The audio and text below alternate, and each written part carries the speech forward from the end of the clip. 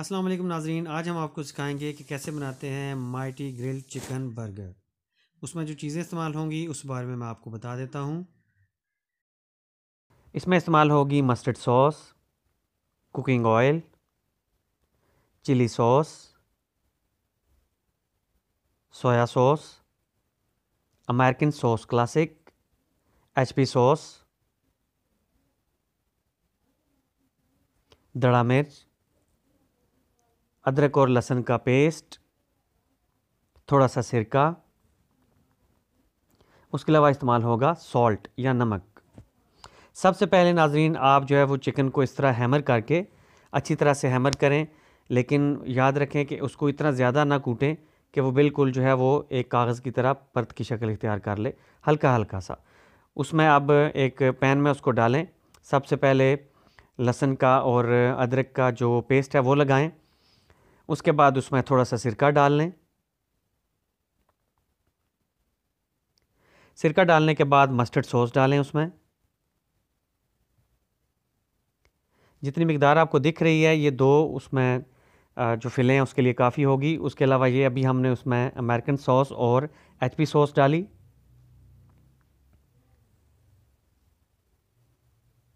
یہ chilli sauce تھوڑا سا ڈالا۔ سویا سوس سویا سوس ڈالنے کے بعد اب اس میں یہ تھوڑی سی دڑا مرچ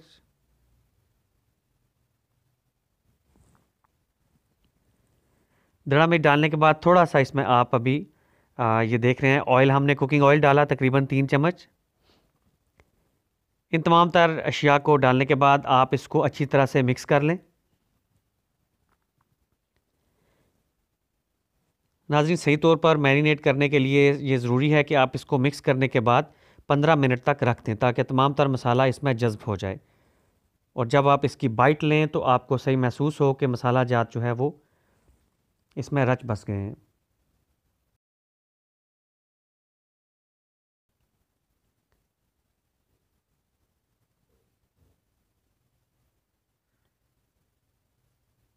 یہ تقریباً سات منٹ جو ہے وہ لیں گے پکنے میں۔ اگر صحیح طور پر ہاٹ پلیٹ گرم ہے تو یہ سات منٹ میں پک کر تیار ہو جاتے ہیں۔ اس دوران آپ ان کو صحیح ٹائم پر جو ہے وہ الٹائیں ان کو۔ جب یہ براؤن ہو جائیں تو پھر آپ ان کو اتار سکتے ہیں۔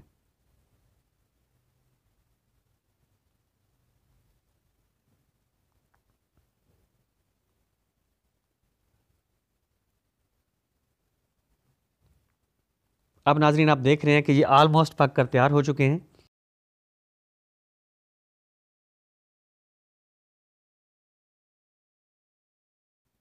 یہ تقریباً اب بالکل تیار ہو چکے ہیں۔ آئل وغیرہ انہوں نے چھوڑ دیا ہے، بالکل۔ آپ جیسا کہ آئل دیکھ سکتے ہیں ہاٹ پلیٹ پر۔ ان کو ہم اب کلیکٹ کر لیتے ہیں۔ اب ناظرین، بن کو آپ نے جو ہے وہ جو کاٹنا ہے، اس کو تین سلائسز میں کاٹنا ہے۔ ایک بن لیں، اس کے جو ہے وہ تین آپ نے سلائس کرنے ہیں۔ آپ اس پر مائنیز لگائیے۔ اس کے بعد دوسرے سلائس میں آپ اس پر چلی گارلک سوس لگائیے۔ چلی گارلک سوس لگانے کے بعد یہ سلائسز کے اوپر رکھا۔ اس کے بعد جو دوسرا فلے ہے وہ آپ اس سلائس کے اوپر رکھیں گے۔ اس سلائس کے اوپر رکھنے کے بعد اب اس پر ہم مختلف قسم کی ویجیٹیبلز رکھیں گے، جیسا کہ بند گوبھی کا ایک پتہ رکھا۔ اس کے بعد اس پر آنین رنگز رکھ دیں گے۔ آنین رنگز رکھنے کے علاوہ آپ اس میں اوپر کھیرا، ٹماٹر یا مختلف قسم کی مزید سبزیاں بھی رکھ سکتے ہیں۔ جس طرح کی ویجیٹیبل یا سبزیاں آپ کھانا پسند کرتے ہیں، وہ آپ بالکل اس میں یوز کر سکتے ہیں۔